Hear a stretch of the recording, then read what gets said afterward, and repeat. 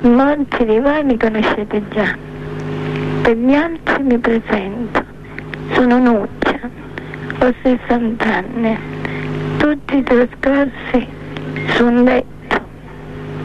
Il mio corpo è contorto, in tutto devo dipendere dagli altri, ma il mio spirito è rimasto giovane. Il segreto della mia giovinezza e della mia gioia di vivere è Gesù. Alleluia.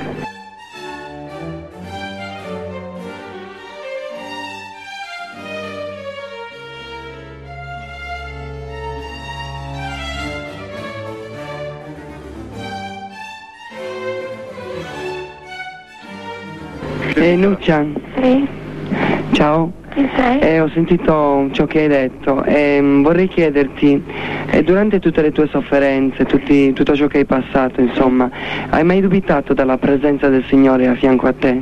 Mai. Non ho mai dubitato della sua presenza. Lui per me è stato un amico, un fratello. Per me la sofferenza è un mistero, però è un grande dono. Gesù l'ha vissuta prima di noi tutti, poi l'ha trasformata in premio eterno. Quindi io l'ho accettata e non l'ho mai sciupata, perché so che Gesù mi ama, mi ama di un amore grande, quindi credo nel suo amore. E anche se a volte mi fa percorrere tanto dolore, tanta sofferenza, so che in cima poi mi aspetta lui e quindi mi darà tanta gioia, tanta felicità e quindi lo lodo, lo benedico e lo ringrazio per avermi scelta. Quindi io mi sono offerta vittima d'amore. Grazie Nuccia.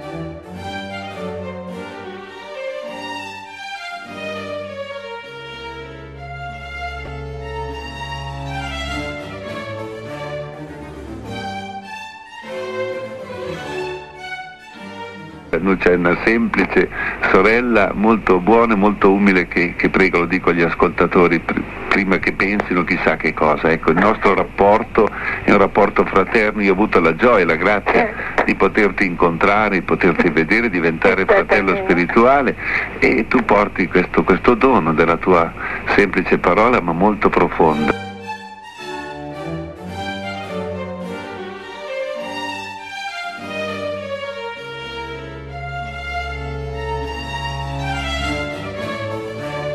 Io non ho doni particolari, io sono una semplice creatura, una serva inutile nelle mani del Signore.